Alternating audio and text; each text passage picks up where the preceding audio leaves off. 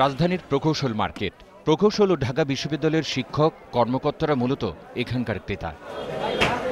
পর্যাপ্ত সরবরাহের পরও দাম কমছে না সবজির। গত সপ্তাহের তুলনায় প্রায় দ্বিগুণ বেড়েছে বেগুনের দাম। পেঁপে মনে করেন পাঁচ ছ টাকা বাড়ছে বেগুন বাড়ছে বিশ টাকা পঁচিশ টাকা। সব সব তারপর ওই যে রোজা আছে রোজা সামনে দাম একটু বাড়া থাকে এই বেগুন আমি কিনেছি কিন্তু আমি বেগুনের যেহেতু পরিচিত দোকানদার ওর কাছ থেকে দামটা আমি জিজ্ঞেস করি নাই। দেশি মাছের দামও তুলনামূলক বেশি। চিংড়ি পাঁচশো থেকে সাড়ে সাতশো টাকা পর্যন্ত কেজিতে বিক্রি হচ্ছে। তবে পাবদা সহ কয়েকটি মাছের দাম কমেছে। ছোট মাছের দাম ইচ্ছা মাছের দাম খালি বাড়তি। বিশ ত্রিশ টাকা বাড়ছে আর কেজিতে। এই যে চিংড়ি মাছ আগে কিনছি সাড়ে পাঁচশো ছয়শো এখন কিনলাম সাড়ে সাতশো টাকা দিয়ে। মিনিকেটের কেজি তেষট্টি নাজিরশাইলের কেজি বাষট্টি টাকায় বিক্রি হচ্ছে যা গত সপ্তাহের চেয়ে কম। দুই একটা করে চাউলের দাম কমছে। নাজির চাইল প্লাস মিনিকেটের চাউলের দাম।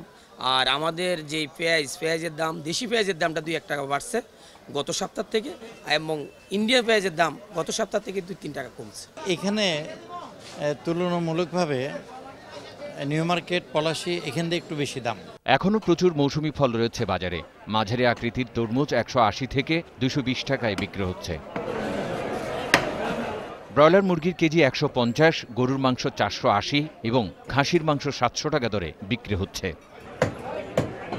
তৌহিদুর রহমান, একুশে টেলিভিশন, ঢাকা।